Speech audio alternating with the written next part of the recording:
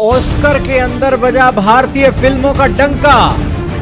भारत ने जीते दो ऑस्कर आर आर आर और द एलिफेंट विस्पर्स चमके।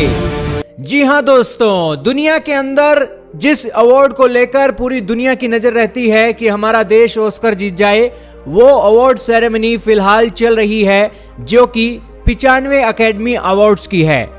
इस अकेडमी अवार्ड्स की सेरेमनी के अंदर भारत की दो फ़िल्मों ने नाम कमाते हुए ऑस्कर जीत लिए हैं और भारत के कल्चर का डंका बजाकर रख दिया है। और जो दुनिया कहती थी कि भारत बहुत गरीब देश है, इन्हें उठने, बैठने, चलने, फिरने की अकल नहीं है। आज भारत के कल्चर ने इतनी बेहतरीन परफॉर्मेंस दी है कि दुनिया भारत की फ़िल्मों को ऑस्कर दे रही है। ये फ़िल्में कौन सी हैं? ये अकेडमी के अवार्ड के अंदर क्या क्या होता है? सारी बातें जानते हैं बिना किसी देरी के। दोस्तों, पिचानवेवा अकेडमी अवार्ड चल रहा है और इस अकेडमी अवार्ड के अंदर visual effect animated international feature costume design makeup cinematography documentary short original song को लेकर अलग अलग एक ऑस्कर दिए जाते हैं। अलग अलग कैटेगरी है और भारत को दो कैटेगरी के अंदर ऑस्कर मिला है।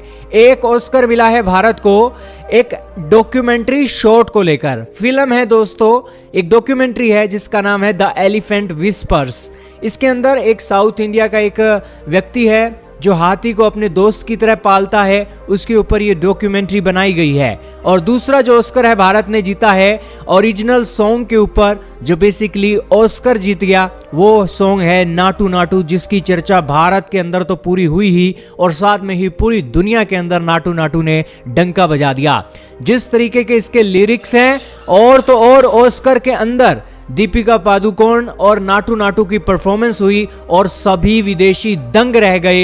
एक नाटू नाटू की परफॉर्मेंस देखकर और डांस देकर दोस्तों, विदेशियों ने ऐसा डांस तो अपने देश के अंदर कभी देखा ही नहीं, जो dance R R R movie के अंदर हुआ है और ये एक यूनिक डिज़ाइन है।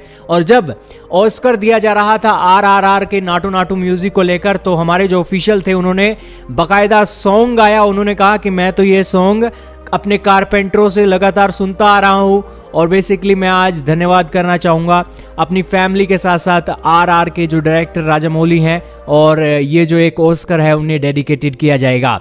दोस्तों, जब ये ऑस्कर जीता गया तो बेसिकली उनकी खुशी का कोई ठिकाना नहीं रहा और बेसिकली अब पूरी दुनिया साउथ इंडिया की तरफ़ ज़्यादा ध्यान देने वाली है।